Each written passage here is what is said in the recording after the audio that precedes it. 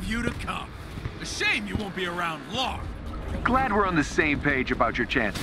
Using his credentials to enter the AIM database. And we have located the clone on the top floor. Watch out. I think it might be expecting you. Time out! You never learn, Masters.